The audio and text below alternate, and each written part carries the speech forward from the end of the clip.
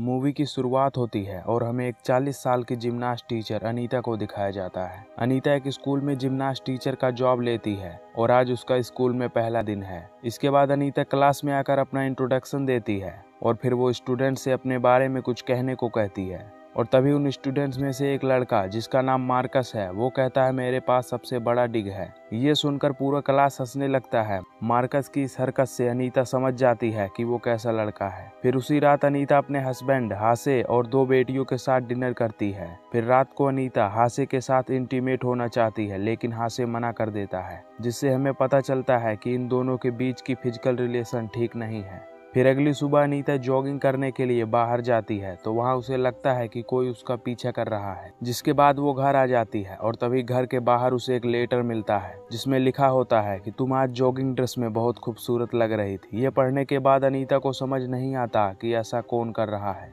फिर इसके बाद वो स्कूल जाती है, जहाँ वो देखती है कि मार्कस किसी के साथ लड़ाई कर रहा है। फिर अनीता मार्कस को छुड़ाती है और इस लड़ाई में मार्कस को थोड़ी चोट भी लग जाती है। तो अनीता उसकी मरहम पट्टी करने लगती है। और जब अनीता ऐसा कर रही होती है तो मार्कस उसे सिड्यूस करके उसके क्लोज आने की कोशिश करता है। और दोनों किस करने ही वाले होते हैं, तभी वहाँ पर एक स्टूडेंट आ जाता है, जिसे दोनों किस नहीं कर पाते, जिसके बाद अब अनीता मार्कस से अट्रैक्ट होने लगती है, और वो मार्कस के सोशल मीडिया पर उसे स्टॉक करती है। इसके बाद वो उसे मैसेज करती है कि, आज जो कुछ भी हुआ, उसे तुम भूल जाओ। ये मैसेज पढ़कर मार्कस अनीता को अपना डिग पिक भेजता है, जिसे देखकर अनीता हंसने लगती है। फिर अगले दिन मार्कस के पेरेंट्स स्कूल आते हैं, क्योंकि मार्कस ने पिछले दिन किसी से लड़ाई की थी। और जब अनीता मार्कस के माँ से मिलती है, तब मार्कस की माँ उसकी पुरानी दोस्त निकलती है। फिर इसके बाद अनीता उन्हें बताती है कि मार्कस की इस हरकत से वो स्कूल की ट्रिप पर नहीं जा सकता। इसके बाद मार्कस उससे अपनी गलतियों के लिए सॉरी कहता है और जब ये लोग बात कर रहे होते हैं, तब मार्कस अपने पैरों से अनीता के पैरों को टच करके उसे सिड्यूस करने लगता है। इससे अनीता थोड़ा अनकंफर्टेबल फील करती है और वो मीटिंग को जल्दी खत्म कर देती है। फिर स्कूल के बाद अनीता जब अपने कार में होती है, तब मार्कस उसकी कार में आ जाता है और यहाँ दोनों पहली बार एक दूसरे के साथ इंटीमेट होते हैं और अब से इन दोनों का अफेयर चालू हो जाता है और ये दोनों अक्सर मिलकर इंटीमेट होना चालू कर देते हैं।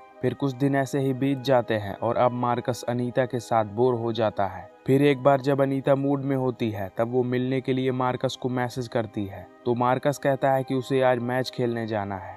फिर अनीता मार्कस का सोशल मीडिया चेक करती है तो उसे पता चलता है कि वो झूठ बोल रहा है। और वो किसी दूसरी लड़की के साथ है। इसके बाद अनीता मार्कस के घर जाती है और मार्कस की माँ से मिलती है। यहाँ पर अनीता के और भी दोस्त होते हैं। फिर थोड़ी देर बाद मार्कस अपने घर आता है और वो अनीता को अपने घर देखकर बहुत हैरान हो जाता है। फिर मार्कस अनीता से पूछता है कि तुम यहाँ पर क्या कर रही हो, जिस पर मार्कस की माँ उसे बताती है कि अनीता ने उनका बुक क्लब ज्वाइन किया है। इसके बाद मार्कस नहाने के लिए बाथरूम चला जाता है और फिर अनीता भी बाथरूम का बहाना बनाकर बाथरूम के अंदर आ जाती है। और यहाँ बाथरूम के अंदर दोनों मेकआउट करते हैं।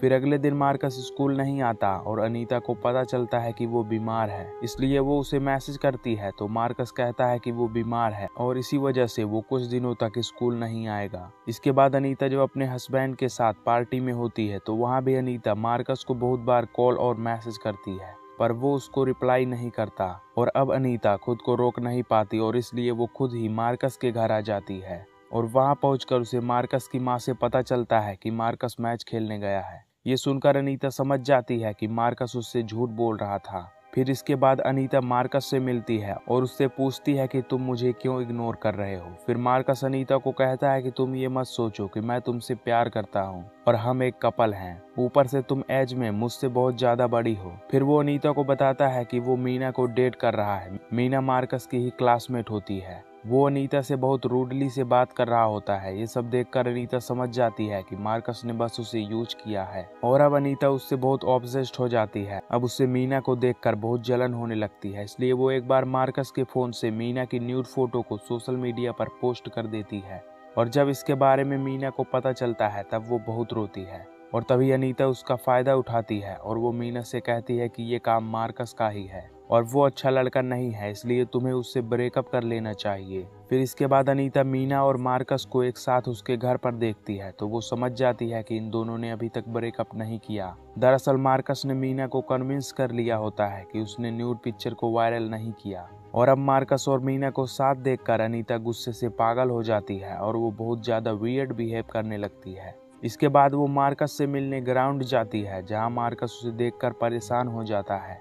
और उससे कहता है कि तुम मेरा पीछा करना बंद कर दो। इसके बाद अनीता मार्कस से कहती है कि वो प्रेग्नेंट हो गई है। ये सुनकर मार्कस पूरी तरह से शॉक्ड हो जाता है और फिर दोनों कार में जाकर बातें करते हैं। अनीता उससे कहती है कि तुम्हें टेंशन लेने की ज़रूरत नहीं है और मैं इसके बारे में किसी को नहीं बताऊँगी। बस तुम मेरे कॉल्स और मैसेजेस का रिप्लाई देते रहना। इसके बाद अनीता फिर से कार के अंदर मार्कस के साथ मेकआउट करती है। दरअसल अनीता ने मार्कस से झूठ बोला था कि वो प्रेग्नेंट है। उसने झूठ इसलिए बोला होता है कि वो मार्कस को ब्लैकमेल करके उसके साथ रह सके। और फिर अगले दिन अनीता का हस्बैंड कहीं बाहर जाने वाला था तो अनीता मार्कस को घर आने को कहती है ताकि दोनों साथ मज़े कर सके।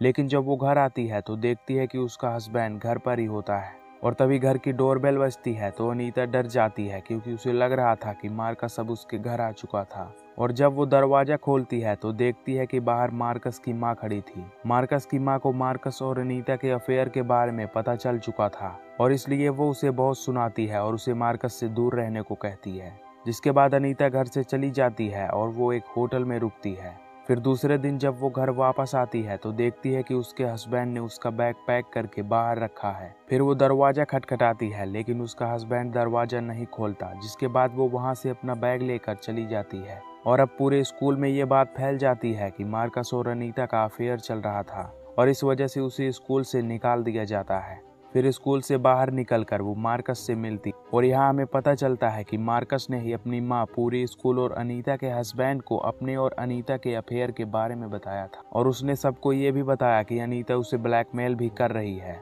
उसके पास सिर्फ़ यही एक रास्ता बचा था कि वो अनीता से अपना पीछा छुड़ा सके। और फिर लास्ट सीन में हमें अनीता को एक बेंच पर बैठा हुआ दिखाया जाता है। और अब वो पूरी तरह से अकेली है। और यहीं पर ये मूवी एंड हो जाती है। तो अगर आपको वीडियो पसंद आई हो तो वीडियो को लाइक करके चैनल को सब्सक्राइब कर लेना। मिलते हैं जल्द ही, तब तक के लिए बाय एंड टेक केयर